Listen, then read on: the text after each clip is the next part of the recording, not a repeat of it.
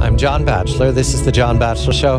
Bill Roggio and Tom Joscelyn of the Foundation for the Defense of Democracy's Long War Journal are with me. The name of the priest and two others, the name of the priest executed June 23, according to the, Mr. Roggio's report on Long War Journal, is Father Francois Murad, M U R A D. There's a video, and it's a video produced by the Al Nusra Front, but I want more. Bill, Al Nusra Front, who are these guys? And you make a deal of the fact that the speaker on the video is not speaking fluent Arabic. He speaks with an accent. Who do we think they are?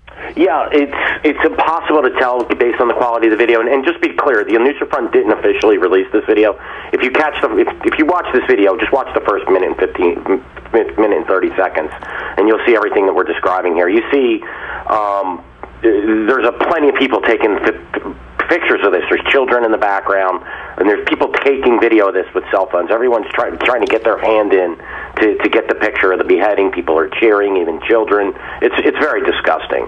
Um, uh, but the, when you the, the speaker, uh, according to the person I spoke to who translated this, had um, he's not speaking in a native he's not speaking Arabic as his native tongue clearly, and he described it as being broken Arabic. So it's possible. He said he could be a Chechen, you were from the Caucasus, he could be from Central Asia, he could be from Pakistan, he could be from uh, you know from Afghanistan. He's wearing a, the the pakul hat, the hat that you t- typically see uh, worn by Pashtuns in Afghanistan and Pakistan along that border area and uh, they're all bearded. They're also wearing the you know the dress that you'll see people from that region, from that Afghan Pakistan region. That doesn't now. I've seen people seen jihadists dressed like that with Al Qaeda in Iraq that were actually Iraqis.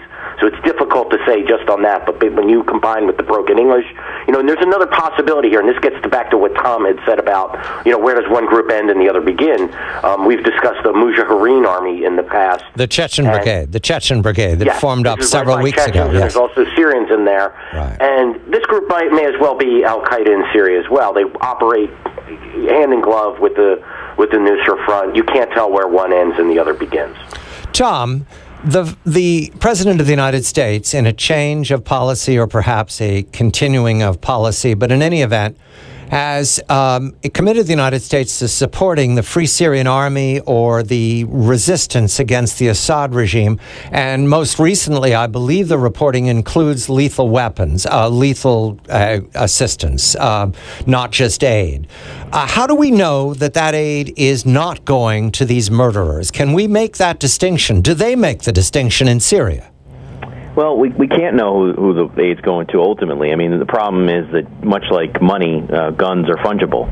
That basically, once they get into a geography like Syria or anywhere else, they easily can be handed from one group or one set of persons to another. And the bigger problem here looming, as far as I'm concerned, is that really one of the principal actors in arming the rebellion in Syria has come to the fore is Qatar. And this is our sort of duplicitous quasi ally in all this. But if you go back through some of the leaked State Department cables, as I have, and look at what the State Department was saying, even during the Obama years about Qatar, is that it was a very lucrative fundraising uh, locale for the Taliban, Al Qaeda, Lashkar e Taiba, and others, because it's seen as a very promiscuous environment for jihadists to basically fundraise and gain aid.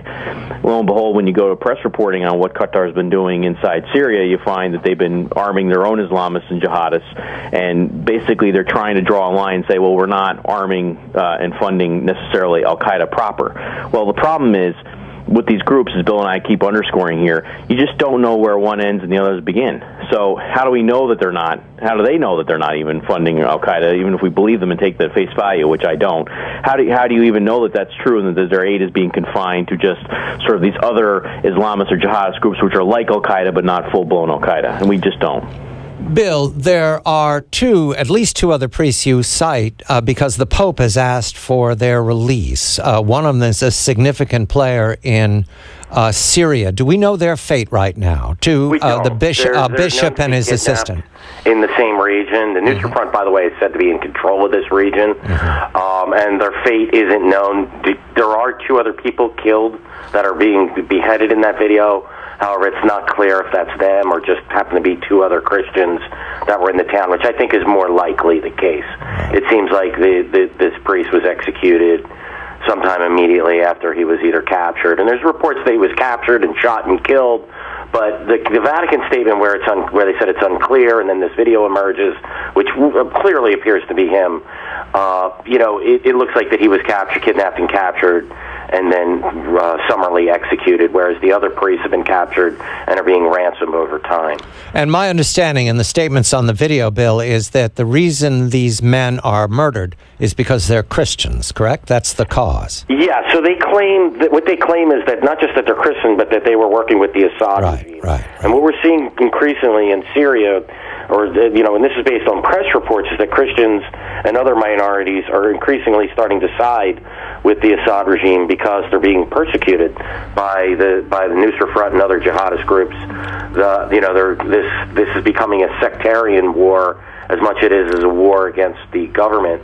So not just the uh, the the Assad family Alawite that minor that Shia sect minority, but other minority groups, Christians and Druze and others, are are starting to side with, with Assad because they view the opposition, including the Free Syrian Army, to be far worse. Tom, uh, ten seconds. Did they just cross a line by doing this? Did they, did they do that on purpose?